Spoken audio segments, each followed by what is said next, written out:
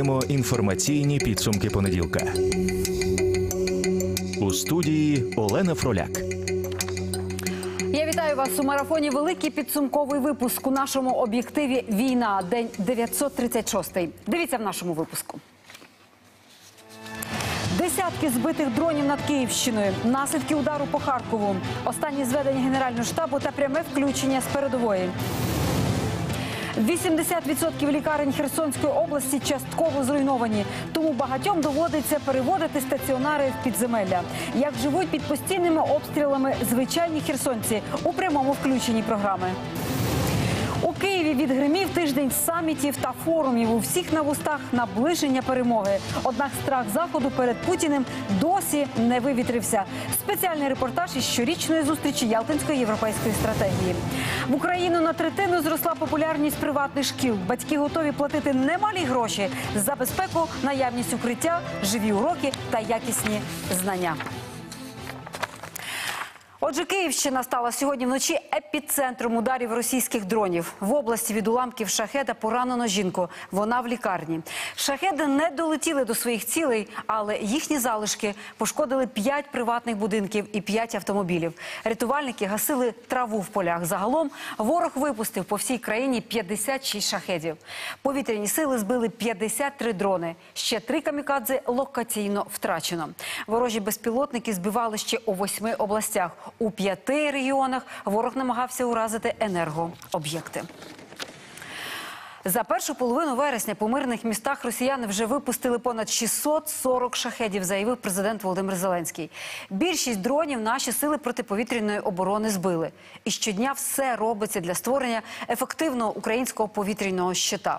За словами глави держави, посилюються самі повітряні сили, мобільні вогневі групи та підрозділи ППО. Водночас столицю від початку вересня росіяни вже атакували вісім разів, заявили у Київській міській військовій адміністрації. Але в сам Київ дрони не долітають. Їх збивають на околицях. Цієї ж ночі навколо столиці уражено зо 20 шахетів. Україна знає, як зробити так, щоб запроваджені експортні обмеження на компоненти для дронів не стали для нас критичними. Про це заявив президент Володимир Зеленський після проведення ставки верховного головнокомандувача. На ній йшлося не лише про безпілотники, а й про саму ситуацію на фронті. Розвідка доповідала про плани росіян і власне про клімат у лавах окупантів. Там суттєво погіршується дисципліна. Також на ставці говорили і про готовність інженерного захисту на об'єктах критичної інфраструктури. Ну а інспектори Міноборони доповідали про центри бойової підготовки. Генштаб ЗСУ отримав доручення покращити роботу таких центрів. Повідомив президент Зеленський. Усі деталі у вечірньому зверненні глави держави. Бажаю здоров'я, шановні українці, українки. Сьогодні майже весь день воєнні питання передусім. Була доповідь головкому Сирського. Тривала розмова на початку дня. Щойно говорили з ним за підсумками дня. Вже більше сотні боїв від початку цієї доби. Найбільше Курахівський напрямок, Покровський. Захищаємо позиції окремо і детально щодо Курської операції. І кожен день діємо саме так, як передбачали. Я хочу подякувати кожній нашій бригаді, кожному підрозділу за злагоджені кроки і реальну стійкість.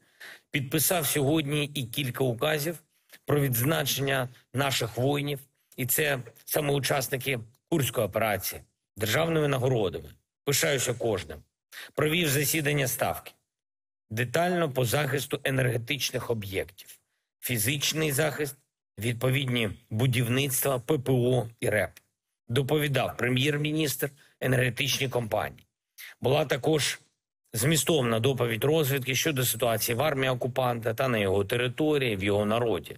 Для нас важливо, що в Росії погіршується сприйняття війни, сприйняття результатів путінської політики. Працюємо над тим, щоб реальність все ж таки подолала російську державну пропаганду. Звичайно, готуємося до тих речей, які Росія збирається робити далі в боях на фронті. Незмінно працюємо, щоб Україна мала достатньо сил і засобів для виробництва і постачання дронів. І Як би у світі не змінювалася ситуація, не змінювалися обставини, українські воїни мають отримати все те, що необхідно для успішних наших захисних і активних дій. Забезпечення дронами це не просто щось тактичне, це стратегічний пріоритет. І я дякую всім, хто з цим працює, особливо тим, хто допомагає нашим військам освоїти нові тактики роботи з дронами. І протягом усього дня, в різних форматах наради з підготовки нашого українського плану перемоги, реальне наповнення усіх пунктів, військове наповнення, політичне, дипломатичне, економічне, залучення ключові особи за кожним напрямком. Необхідні для України кроки вже визначені абсолютно чітко. Те, що може дати нам максимально сильні позиції для наближення миру, реального, справедливого миру. Для кожного кроку є і чіткий перелік пунктів, що саме необхідно, що саме працюватиме на посилення. Жодної неможливої речі там немає. Більш ніж на 90% все виписано.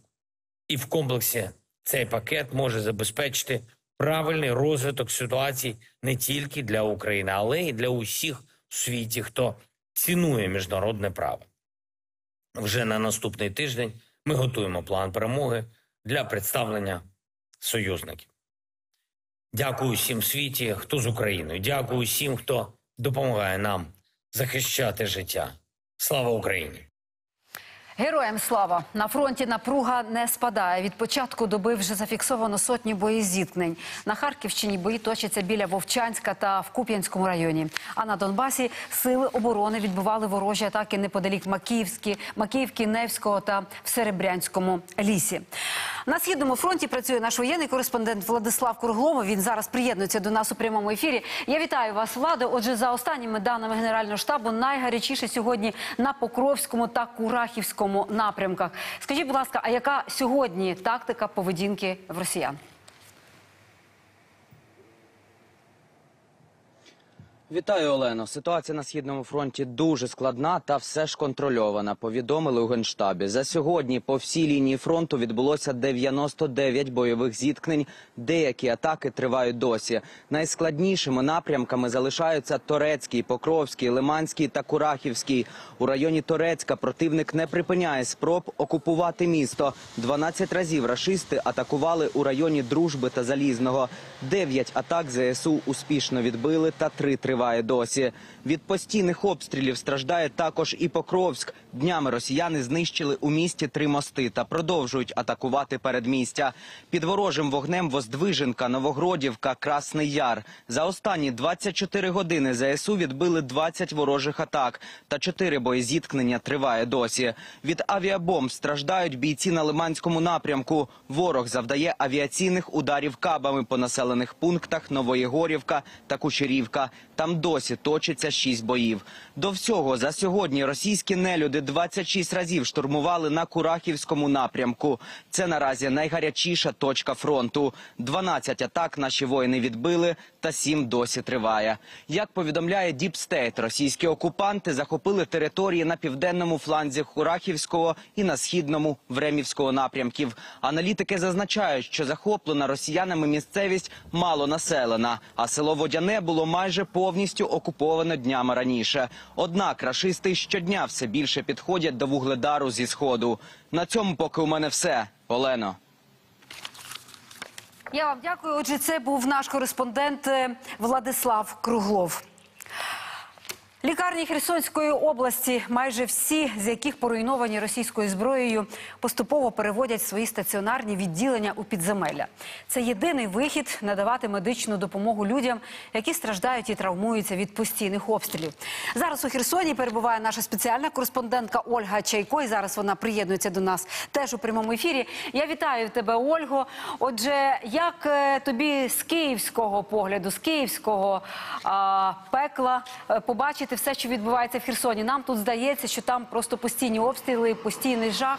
Як живуть звичайні херсонці? Що впало в око тобі найбільше? Е, Добрий вечір, Олено. Дійсно, в Херсоні завжди стріляють. Однак сьогодні на диво було більш-менш тихо. Один раз ми чули під час роботи в Херсоні такий вибух досить гучний. Е, В принципі, для міста це не характерно, оскільки там прилітає постійно.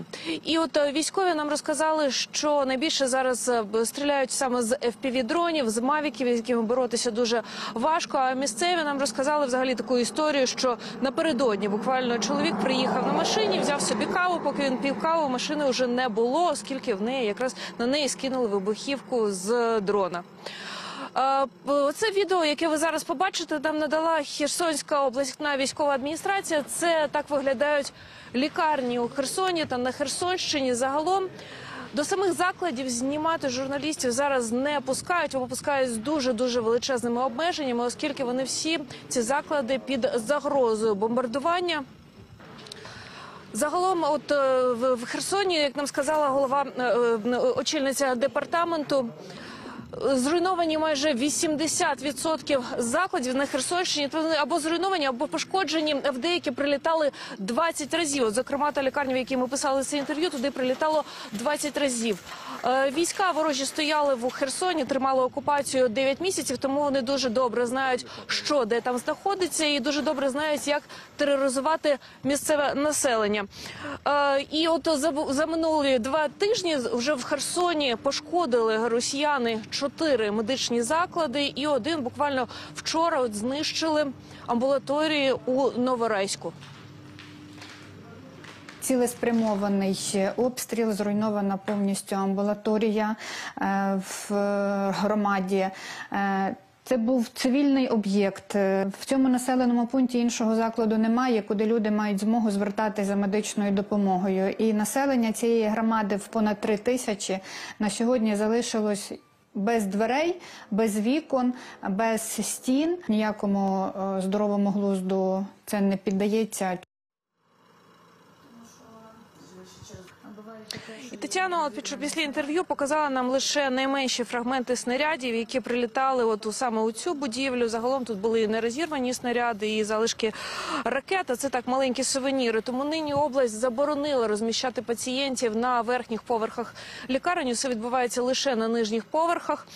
Е, Також тут є таке розпорядження, що щойно лунає тривога, усі мають переміщатися в укриття, оскільки у багатьох закладах були лише примітивні укриття. То зараз, от принаймні у п'яти стаціонарах, роблять такі нормальні звичайні укриття. Нам показали одне у пологовому будинку. Тут буде і хірургічне відділення, і палати, де розмістять 20 породіль, і також інтенсивна терапія. І прошу пряму мову, чому саме херсонці не їдуть з Херсона.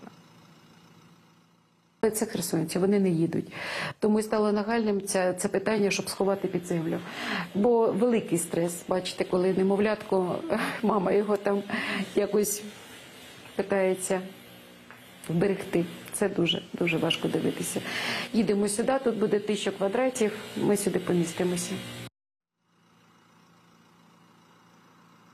Ну, Такі от херсонці віддані своєму місту. І зараз я пропоную подивитися мій матеріал про те, як живе місто зараз.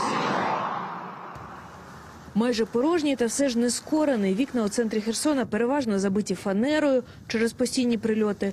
На зупинках укриття або ж габіони із піском. Деякі магазини працюють. Ось тут, наприклад, навіть включили музику і відчинили двері, аби покупці йшли. Мешканці пересуваються містом швидко і до третьої дня намагаються повернутися додому. Вибухи тут досить часті і відчутні. Цей район Херсона вважають відносно спокійним. Та і тут, як бачимо, вікон у будинках майже нема. Прильоти вже стали для міста буденністю. Ось голова ОСББ цього будинку прийшла сфотографувати наслідки прильотів, аби передати їх місцевим органам влади. Слава богу, людей не было в квартирах, и это спасло всех. Тоже вот все это. Вот. Понятия не имею, я не знаю. Кожного дня? Да, кожного дня і ночі. Будинок понівечило наприкінці тижня, причому вдарили серед білого дня. Фанерою вікна уже заклали. Що робити із балконами, поки не зрозуміло. Багато мешканців виїхало. Тут живуть переважно пенсіонери. А скоро опалювальний сезон будинок не повинен вистигати, адже люди і так під постійним стресом. Временами, от нема, нема, нема, а потім тільки раз і є. Я не, не знаю, так ідемо на бум. Думаємо, Господи, поможи. Поряд працюють електрики, через вибух обірвані дроти, тож світло поновлюють лише сьогодні. За день таких виїздів може бути декілька. Бригада працює у броніках і касках, адже будь-який момент може прилетіти знову. Буває таке, працюємо, летять дрони, ми швидко е, ну, заховались, да, переждали. По населенню б'ють. Тут же армії нема, військ тут нема. Мирний город, е, а б'ють, е, я не знаю, що в них в голові. У сусідній школі вибухом поламало двері і повибивали вікна. Загалом 19 порахувала завгосп. Вона опікується закладом останні два роки. До великої війни тут вчилося 700 дітей. Та нині на місці лише декілька співробітників, які постійно підтримують порожню школу у більш-менш адекватному стані. Та кажуть, це вже не перший приліт. У нас вже були повибивані вікна добряче. А це після цього прильоту, це наробило зовсім біди нам. Ми тільки що стекла вигрібали там у дворі і на второму етажі там в туалеті, де тряпками завісили, де все, сразу ж не зробиш. Стараємося, звісно, ждемо, може ж, чи матеріали якісь дадуть нам. Дітям, поки така ситуація у місті, сидіти за партами не можна, а дорослі вже звикли жити під вибухами, чекати на перемогу. Із Херсона Ольга Чайко, Володимир Коваленко та Захар Комах. Факти ICTV. Єдині новини. Чекає на перемогу і Харків, але оговтується від недільного авіабомбардування. На місці влучання російської бомби у висотку на Салтівці вже завершили пошукові роботи. Сьогодні рятувальники розбирають конструкції багатоповерхівки через загрозу обвалу. Комунальники, волонтери, жителі району забивають фанерою вікна, виносять бите скло і думають, де ж тепер їм жити. Внаслідок цього обстрілу 43 людини поранені. Серед них четверо дітей, найменшому всього рік. Одна жінка 93 років загинула. Марія Малевська з місця чергового злочину росіян.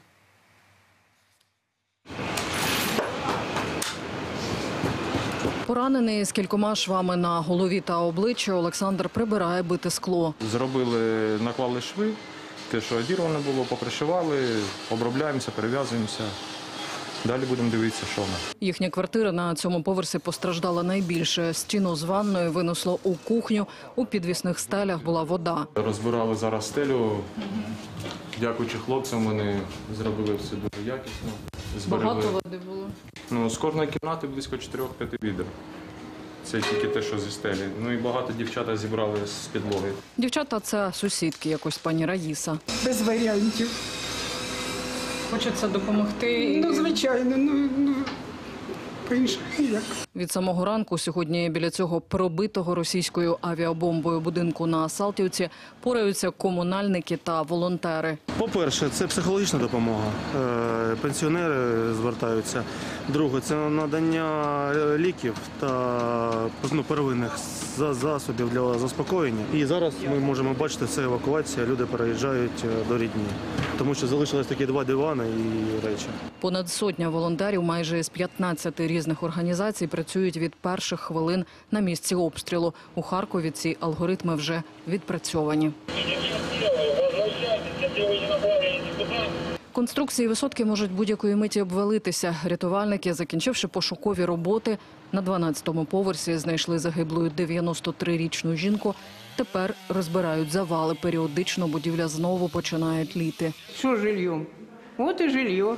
Оно ж, если бомба упала, какое же это будет жилье? Сколько вообще там вверху погорело совсем вместе. И бабушка ж сгорела живьем. Неля Назаренко сьогодні, як і ще понад десяток мешканців будинку, ночувала ось тут, у найближчому ліцеї. Педагоги розгорнули штаб допомоги: ліжка, ковдри, їжа, одяг. А ще у холі працюють медсестра та психолог. Ми прийняли 22 особи постраждалих, 14 у нас залишалося е, ночувати. На даний час ми розселяємо організовано з адміністрації людей по гуртожиткам, знаходимо квартири, е, з- допомагаємо їжею, постільною білизною, е, засобами гігієни, одягом. Постраждала і сама будівля ліцею, її житло десь половини педагогів. Оселя секретарки Валентини Кузнецової вигоріла вщент. Я була вдома на кухні, коли почула вибух.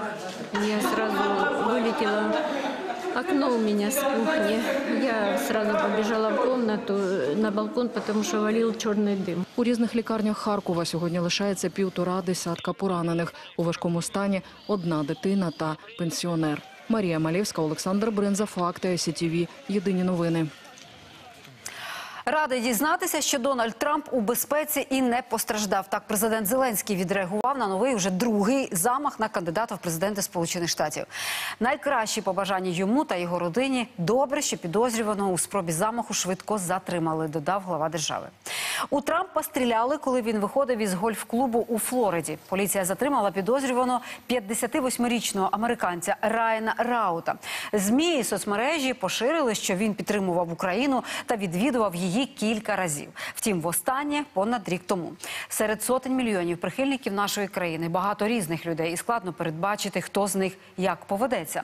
Нападник не має жодних зв'язків із державними структурами України, наголосили в інтернаціональному легіоні, і підкреслили, що він ніколи не воював у складі легіону або інших наших військових формуваннях. Офіційно Київ засуджує будь-які прояви насильства та будь-які втручання в політичні процеси у демократичних країнах. Україна очікує на повне розслідування замаху і встановлення всіх обставин. Данія вже до кінця року направить в Україну нову партію винищувачів F-16, запевнив міністр оборони Трольц Лунд Пульсен. Перші літаки Копенгаген передав ще на початку серпня. Кількість і дати поставок не розголошуватимуть з міркувань безпеки. Однак загалом обіцяють надати 19 літаків. Українське міністерство оборони офіційно оголосило, що винищувачі вже залучили до відбиття повітряних російських атак. Данія також допомогла підготувати десятки пілотів і сотню фахівців з технічного обслуговування винищувачів. Серед них механіки, спеціалісти зі зброї і наземний персонал для українських авіабаз. Уже найближчим часом Італія надасть Україні другу батарею системи протиповітряної оборони SAMP/T для захисту цивільних. Про це заявив міністр закордонних справ країни Антоніо Таяні. Він також нагадав, що його країна надала українцям беззастережну військову, цивільну та фінансову допомогу і запевнив, Рим постачає саме ту зброю, запити на яку отримує від Києва. Також Таяні висловився щодо останніх дискусій щодо надання Україні права бити західною зброєю вглиб території Росії. Це питання сьогодні в Римі обговорюють прем'єри Великої Британії та Італії Кір Стармер і Джорджія Мелоні. Кожна країна сама вирішує, як використовувати свою військову допомогу у двосторонніх відносинах з Києвом, сказав Таяні. Він сподівається, що значущу мирну конференцію щодо України вдасться провести вже до кінця року. Минулий тиждень, попри тривоги та нічні шахедні атаки, став центром міжнародних форумів, самітів та конференцій. На Кримську платформу, саміт перших леді та зустріч Ялтинської європейської стратегії до Києва з'їхалися сотні відомих політиків, державних діячів, чинних посадовців, лідерів думок. До першої леді Олени Зеленської завітав навіть голівудський актор Майкл Дуглас. На всіх майданчиках, на всіх сценах та в усіх холах йшлося про одне: як наблизити перемогу України і припинити вбивства українців. Найпредметніше це обговорювали на зустрічі Ялтинської європейської стратегії. Її засновник Віктор Пінчук переконував західних гостей у нагальності збільшення постачань зброї, бо саме це зупинить Росію, а не страх перед її шантажем чи глибоке занепокоєння. Саме це зупинить глобальну катастрофу, яка може спричинити перемога Росії. Українські захисники відверто і чесно розповідали про ситуацію на фронті. Вирвані з пекла боїв, вони прямо казали високим чинам із заходу. У нас уже немає часу чекати на ваші виважені рішення. Україну руйнують, вона стікає кров'ю, і портрети загиблих на стінах зустрічі мовчки, але красномовно кричали їм в унісон. Все, що я прочитала і послухала з Ялтинської європейської стратегії, на жаль, оптимізму вселяє мало. Західні лідери все ще бояться ядерних погроз Кремля, а в Москві цим дуже вміло користуються. Спеціальний репортаж із 20-ї щорічної зустрічі ЄС від Наталі Луценко. Більше зброї Україні це вирішення війни, а не шлях до ескалації з Росією. Решта наративів то прямий вплив російської пропаганди, каже гостям щорічної зустрічі Ялтинська європейська стратегія. Її засновник Віктор Пінчук. Логіку деяких західних партнерів він називає хибною. Страх перед Кремлем міцним, а думки про поразку України у війні тривожними. Перемога Росії спровокує війни по всьому світові, та її поразку навряд чи гарантує третина від обіцяної Києву зброї. Якщо Росія досягне успіху в Україні, Китай, Північна Корея та Іран найбільш ймовірно виступлять проти Тайваню, Південної Кореї та Ізраїлю. Увесь світ буде втягнутий у війну. Що більше буде військова підтримка України, то меншим буде ризик ескалації війни між НАТО і Росією, а також виникнення глобального ефекту доміно, появі дедалі більшої кількості воєн проти демократії. Хід війни в Україні може змінити далекобійна зброя. Кожен, хто просто бачить на мапі, звідки Росія щоденно завдає ударів, кожен, хто все це бачить, очевидно, очевидно розуміє, для чого Україні далекобійність. Майже почесний киянин, друг України, екс-прем'єр Великої Британії Борис Джонсон, теж на зустрічі ЄС. Він переконаний, подальше зволікання заходу шлях Путіна до більшої агресії. Він уже попросив чинного прем'єра Британії Кіра Страмера дозволити Україні бити ракетами штормшедову глиб Росії. Сподівається, що обмеження знімуть. Ми просто зобов'язані надати вам дозвіл на використання Storm Shadow проти російських позицій на території Росії. І думаю, французи теж повинні це зробити. І дозвіл бити ATACMS ами також. Востаннє, коли ми з вами говорили, операції під Курском ще не було. Усі казали, що війна зайшла в глухий кут. А потім Україна здійснює цей неймовірний маневр. Вони захопили тисячу квадратних кілометрів, 100 російських сіл. А тепер уявіть, на що здатна українська армія, якби ми вчасно надавали техніку. Міністр оборони Рустем Умєров закликає світових політиків і міжнародних партнерів активно інвестувати в українську оборонку. Україна має добрий потенціал, але для реалізації необхідні інвестори. Ключові потреби незмінні: своєчасна фінансова та військова допомога. Торік ми планували наші виробничі можливості і визначали, скільки можемо спільно виробити у приватному та державному секторах. Тоді наш потенціал становив 7 мільярдів доларів. У 2025 році ми можемо збільшити цей показник утричі. За нашими оцінками, за умови додаткового фінансування, потенціал оборонного виробництва може досягти 20 мільярдів доларів. Ми готові відкривати з вами спільні підприємства. Ми можемо познайомити вас і звести вас з будь-ким із наших очільників, щоб працювати спільно. Радник президента США з нацбезпеки Джейк Саліван постійно радиться у Вашингтоні, як посилити український фронт. Розповідає, США буквально з конвеєра знімають снаряди калібром 155 мм і доставляють на передову якомога швидше. Він анонсував суттєвий пакет допомоги Україні до кінця вересня, а до кінця року передачу заморожених російських активів.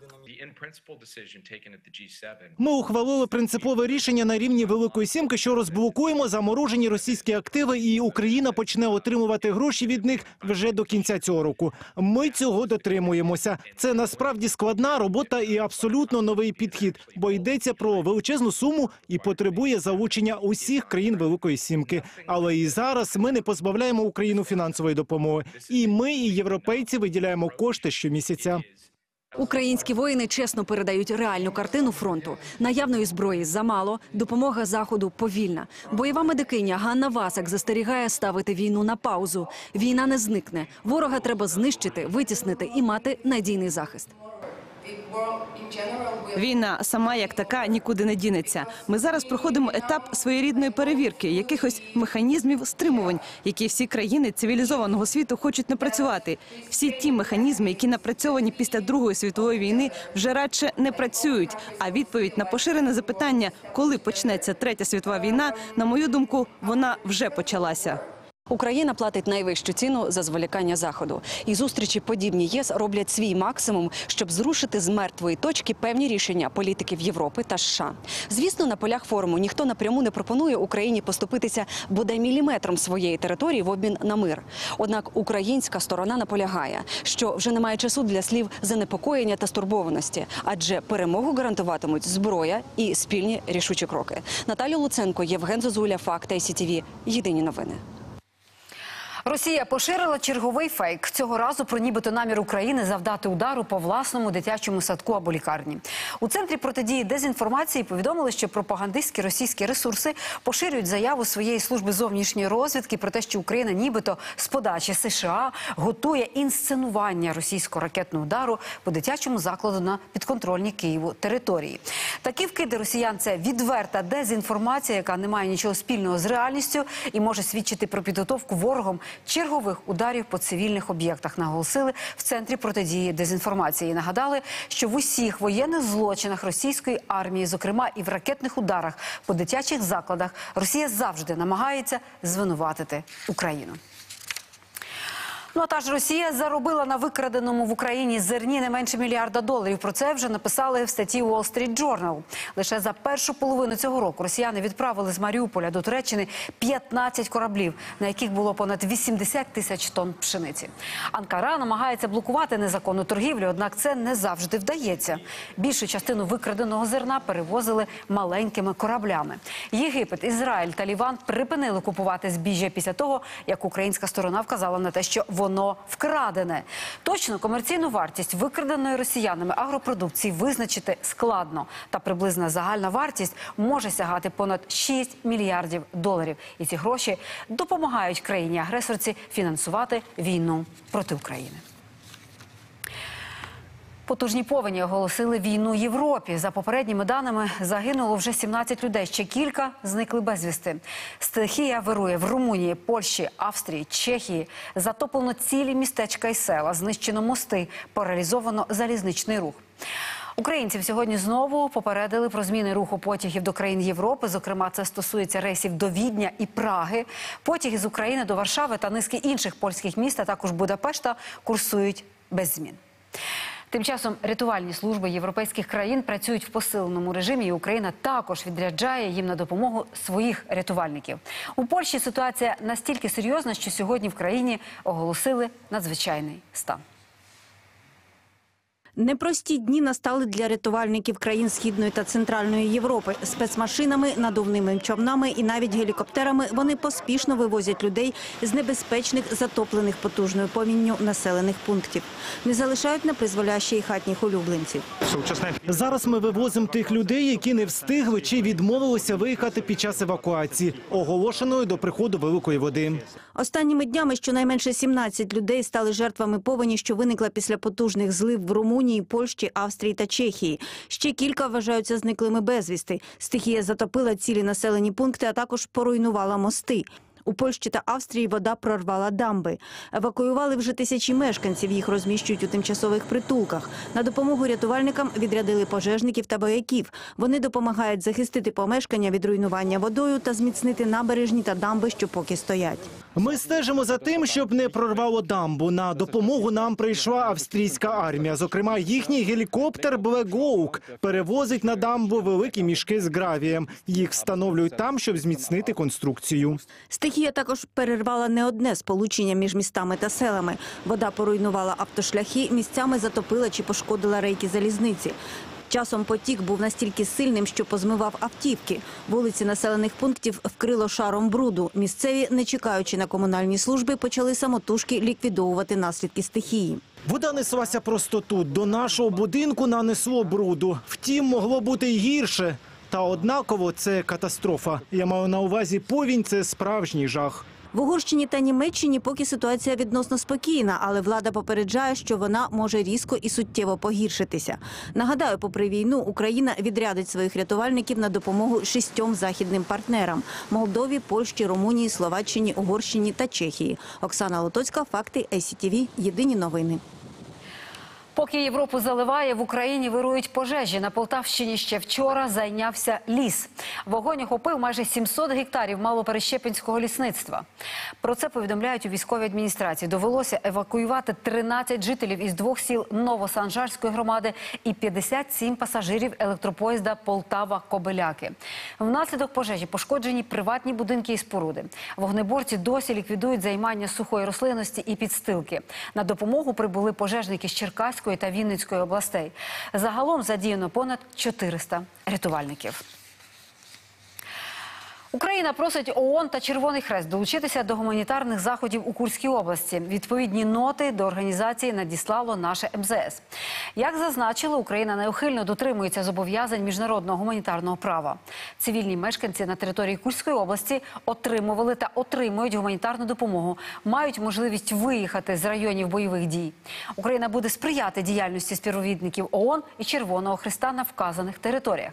Але в Кремлі наше звернення до міжнародних організацій назвали провокацією. Мовляв, очікують, що ООН і Червоний Хрест не приймуть це запрошення.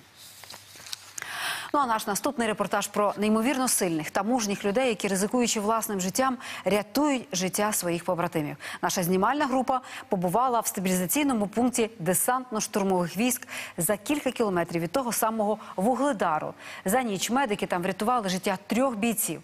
Проте, якщо брати за час добу, то військові лікарі рятують десятки поранених.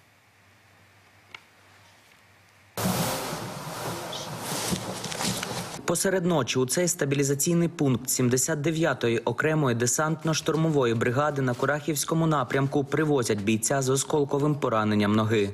Ваше звання. Солдат. Ім'я. Сергій. По батькові. Валерійович. Котру годину поранений? Два дня назад, в 12 ночі. Паралельно медики розрізають речі та оглядають бійця, аби перевірити, чи немає ще десь осколків. Красиво все перевяжем тебя. Ты уже красивенький поедешь на следующий этап. Там опять тебя пересмотрят, то, что мы сделали. Доделают еще, что они могут. Они сделают рентген. Уже скажут более конкретно, что с тобой происходит. Опять тебя соберут все красивенько. И поедешь потом уже в другое место. Ну, я попутешествую? Да, конечно. Вступать в Украине. Боєць при свідомості та навіть жартує. Медики кажуть, це захисна реакція, бо людина вперше за довгий час не під обстрілами. А у меня серьезно по телеку покажут? Ну да. Ты не у меня спрашиваешь, откуда же я знаю. Я просто жінки тільки що збрехав, сказав, що захворів, їду в больницю. Ну правильно. Захворів? Ну захворів. Ну так захворів же ж. Обробивши рану перекисом, лікарі вводять антибіотики та протиблювотні засоби. Далі робота з анестезіологом. Ми знайдемо в тебе тут нервовий пучок. І нервовий пучок робимо місцевий анестетик. Хорошо йде Угу. Все, згодом. Лікарі кажуть, бійцю пощастило, що за два дні не втратив пальці, хоча вони повністю перебиті. Не подглядывай. Не бейся. Нормально. Чего ты подглядываешь? Палец ты. Ко мне ближе. Я не буду твои пальцы трогать. Ай. Цей стабілізаційний пункт це повноцінна реанімація та операційна. Тут є все необхідне обладнання, аби врятувати життя людини. Як ви себе почуваєте? Як вам зараз? Иди сюда. Зараз от... Не надо в него кричать. Зараз я себе почуваю досить таки непогано. Лікарі во. Обслужування во. Сергій Піхотинець тримав оборону неподалік вугледару, де рашисти наразі активно наступають. По наших позиціях працювала і 80-ка мінометка, 82-ка, 120-ка, танки, і FPV, скиди з дронів. Тобто все, все ж там прилітає все. На фронті три місяці. Три місяці, Да. А таке відчуття, будто я тут уже год. За півгодини бійця забирає швидка та везе на інший етап евакуації у лікарню. Та вже за півтори години до лікарів привозять ще двох поранених.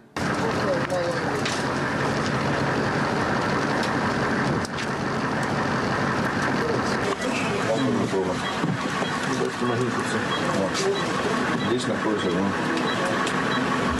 понятно, что Но мы его здесь не извлечем. Та незважаючи на біль та пережите, ці бійці теж жартують. Шортики.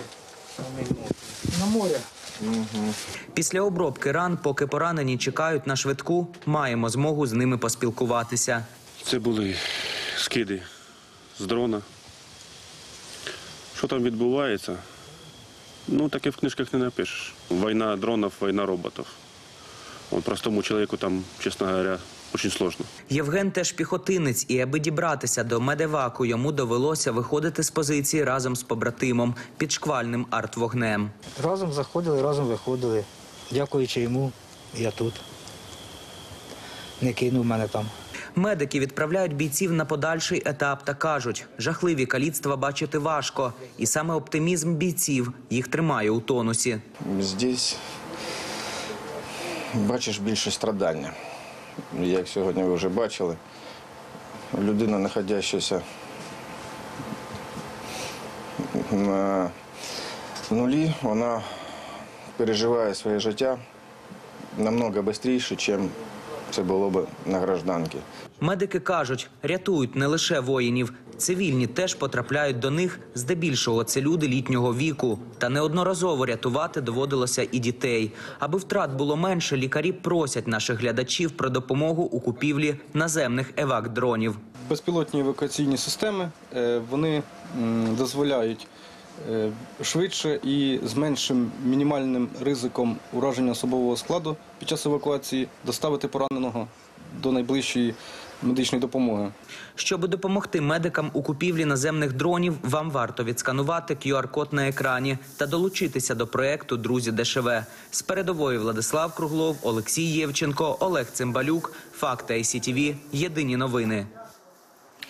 Уже півтора року триває реабілітація після звільнення з російського полону морського піхотинця із Харківщини. Обороняючи Маріуполь навесні 22-го, поранений 28-річний морпіг 36-ї бригади потрапив у російський полон. Голод, антисанітарія, відсутність належного медичного забезпечення і щоденні тортури. Так про 10 місяців пекла розповідає військовослужбовець. І в таких умовах нині перебувають тисячі українських захисників в російському полоні. Достукатись ні до кого не можуть, їх не відвідує навіть Червоний Хрест. Водночас російські полонені можуть позвонити з полону рідним, а додому повертаються відгодованими і полікованими. Світ має вплинути на Росію, примусити Путіна виконувати Женевську конвенцію. Тетяна Доцяк зустрілася із захисником Маріуполя. 28-річний морський піхотинець півтора року тому повернувся з російського полону. Тоді, каже, його не могли впізнати навіть рідні. У неволі втратив 40 кілограмів ваги, посипалися зуби, волосся, не загоювалась рана на нозі. Він погодився на інтерв'ю із закритим обличчям і просить не називати ім'я, бо нині він знову у війську. Я е, діючий військовослужбовець. Е, після обміну е, я все ж таки вирішив продовжувати службу, е, бо, ну, по-перше, почуття помсти за полеглих побратимів. Коли почалася повномасштабна війна у складі 36-ї окремої бригади морської піхоти боронив Маріуполь, розповідає військовий. Зайняли оборону на заводі Ілліча, а коли потрапили в оточення, вирішили прориватися на Азовсталь. Діти вдалося не всім. Його і ще кількох побратимів окупанти взяли в полон. У нас закінчився БК. Ну і орки крикнули, що типу, типу, все. У вас вже нічого нема по суті, тому якщо хочете жити, давайте, здавайтесь. В Оленівці почали бити, щойно вийшли з автозаку, згадує морпіг. Всіх утримували в повній антисанітарії і без медичної допомоги. Ця установа була явно е, не працюючою, тому що там не було ніяких ні комунікацій, ні води. Всі спали на підлозі. За два тижні до теракту, який окупанти влаштували в таборі, бійця знову відправили по етапу, тому й вцілів. У Вязьмі Смоленської області сидів до звільнення. Побиття й тортури там були щоранку. 100% ти знав, що е, ранок почнеться з побоїв. Резинові палки, чи це будуть там просто побуцають, чи це шокерами поб'ють. І так щоденно.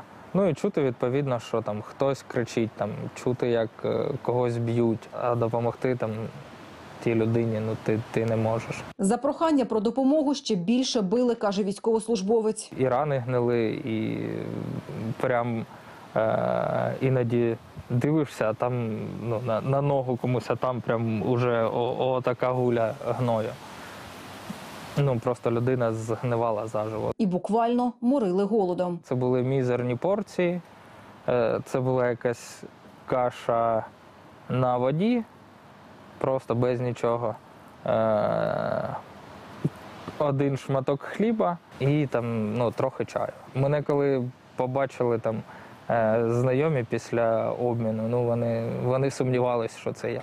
Лише через півтора року після полону йому вдалося набрати вагу, почав займатися спортом, повернутися до життя допоміг психолог. Однак колишній бранець і досі лікує ногу. Якби тоді, коли потрапив у полон, вчасно надали допомогу, таких проблем би не було, запевняє чоловік. Мені вже після обміну в Полтаві зробили операцію, е, зшили нерв, трохи відновили ногу. От, е, на даний момент е, ну, можу більш-менш нормально ходити, але у мене не тримається стопа. Інша справа росіяни. Дехто навіть не хоче повертатися в Росію. У полоні триразове харчування, гаряча вода й унітази. Кожного дня їм прогулка, харчування трьохразове є. Забезпечили одягом, е, стираються на бані. А ще медична допомога. Фьодора Смакіла взяли в полон у Курській області. Був поранений. Переконує, що сам себе підірвав від страху перед полоном. Та перші, хто йому допоміг, каже, були українські військові.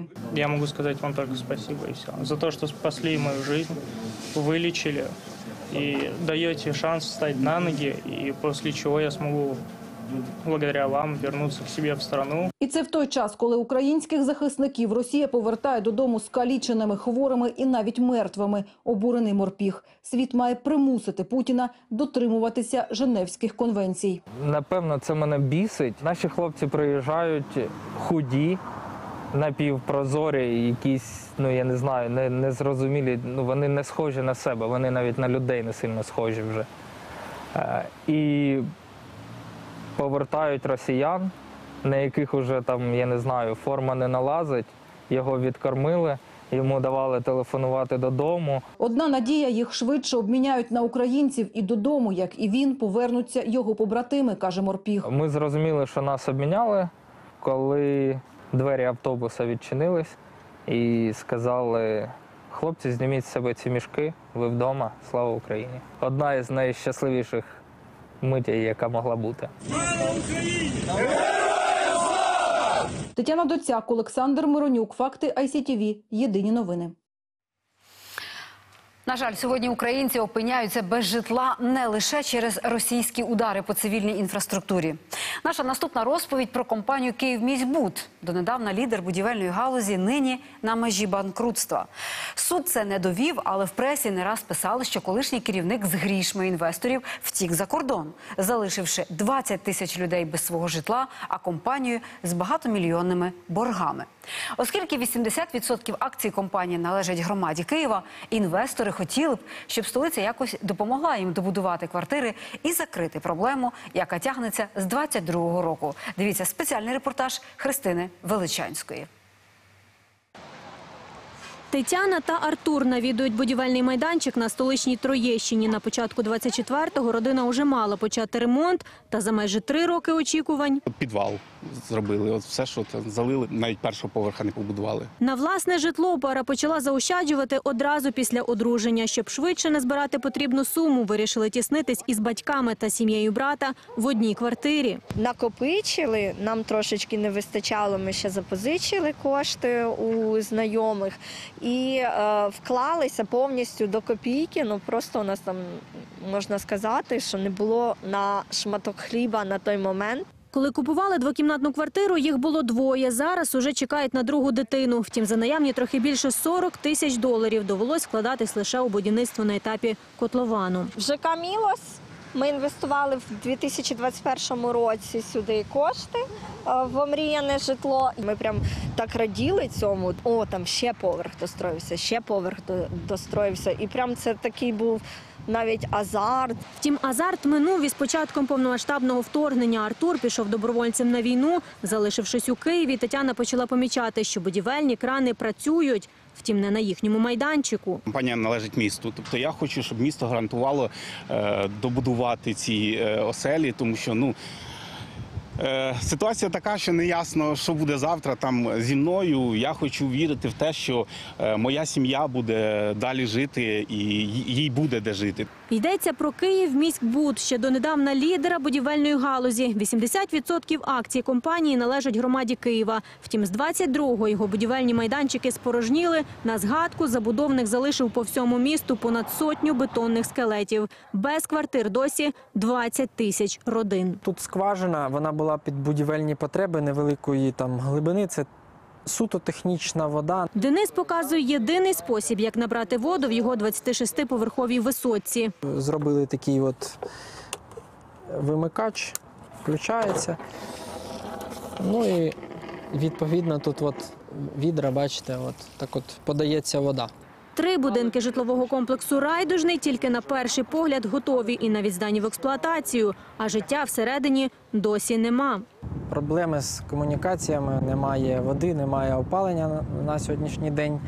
Е, Електроенергія тимчасова на 380 кВт на три будинки, а й по 2 кВт на квартиру. Це просто, ну, ви розумієте, це включити е, кожен чайник і все, згоріло трансформатор. Як виявилось, звична практика для Київміськбуду – спершу зводити будинки і лише потім думати, як провести мережі. Денис каже, щоб мати електропостачання, їм потрібно 25 мільйонів гривень. Приблизно 12 мільйонів е, роботи, які включають перекладку каналізаційних колекторів, плюс десь 8 мільйонів це виконання по перекладці існуючих е, водопровідних систем. У безвиході і без комунікацій в будинку заселені чотири квартири. У майже сотні роблять ремонт. Інвестори у кризі звинувачують колишній менеджмент компанії забудовника. Голова правління Ігор Кушнір наприкінці 23-го таки йде з посади. Відтоді Київміськбуд очолює Василь Олійник. На жаль, я можу говорити відкрито, що та репутація, яка була сформована, вона і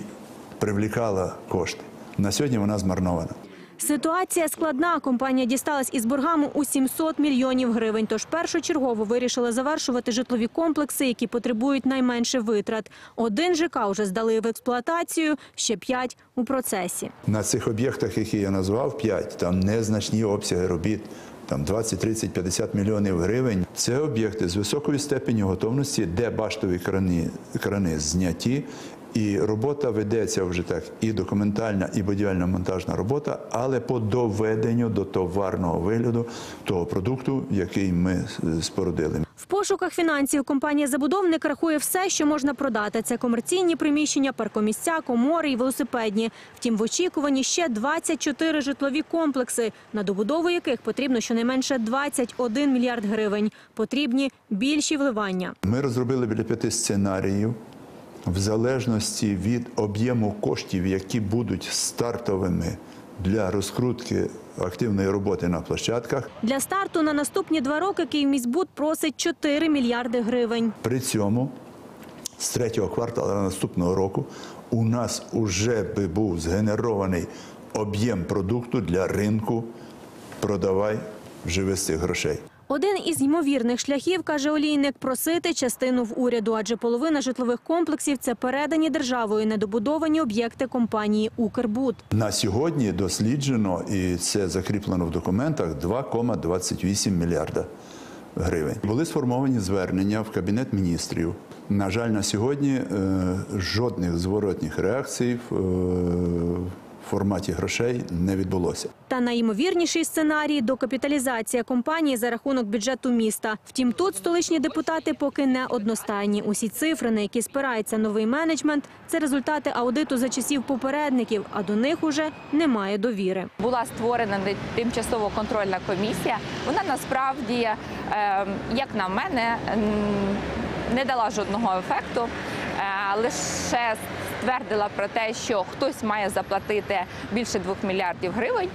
Е, І також не сказали, чому. Чи справедливо витрачати кошти платників податків? Над цим питанням у Київраді досі міркують. Я думаю, що найближче, найближче засідання вже буде попереднє якесь рішення комісії, е, і найближчим часом буде виноситись на сесію. І на це рішення, як на прозорий, дієвий план виходу з кризи, досі чекають десятки тисяч людей. Серед них чимало військових та переселенців. Свого часу вони довірили останнє столичному забудовнику, тож очікують, що місто або держава в час повномасштабної війни не залишать людей без даху над головою. Христина Величанська, Факти ICTV, Марафон. Єдині новини. І далі про надійний дах над головою для українських школярів. У новому навчальному році в Києві вже на третину зріс попит на навчання в приватних школах. Саме завдяки наявності надійного укриття. І відповідно діти можуть навчатися офлайн. Онлайн, а офлайн, вибачте, а для батьків нині все це в пріоритеті. І за це вони готові платити. Порівняно з минулим роком кількість учнів у приватних закладах суттєво зросла. Деякі родини повертаються додому з-за кордону, і в них є запит на навчання іноземної. До Києва їдуть переселенці з прифронтових територій. Попит формує пропозицію. Нині в столиці працюють 158 приватних шкіл, і це третина від усіх навчальних закладів міста мільйонника. Розповідає Наталя Кулик. Поміж уроків поганяти шкільними коридорами на роликах. Мрія учнів, але це справді заняття в розкладі одного з приватних закладів Києва. Останні два роки в столиці аж на третину зріс попит саме на приватну освіту. У цій школі навчання з 1 по 11 клас. Є дошкільна підготовка. Навчальний рік розпочали 500 учнів. Класи заповнені як ніколи. Нових учнів Е, більше 20%, і це дуже багато для нашого закладу. І багато учнів, на жаль, поїхали в серпні е, за кордон, але приїхали інші учні з е, східних регіонів. Нині найголовніше для батьків це безпека і добре укриття. В багатьох державних школах зі сховищами досі проблеми. Їх або немає, або в поганому стані, або тісні не вміщають всіх дітей, і ті вимушені навчатися онлайн чи по змінах. Приватні у цьому виграють. Повноцінне навчання тут відновили ще з 1 травня 22-го, бо мають добротне укриття, збудоване ще за радянських часів. Ми е, вклалися і відремонтували ці приміщення, які дозволяють повноцінно працювати. Іноді тривоги довго тривали, і ми змушені е, харчувати дітей прямо в бомбосховищі. Батьки починають е, знайомство зі школою саме з бомбосховища. Крім безпеки, для мами двох хлопчиків Дар'ї було надважливим ставлення до дитини у школі. Один син цього року пішов у перший клас, інший у дошкільній групі, обоє у цій приватній. Бо перед цим мали негативний досвід з державним садочком.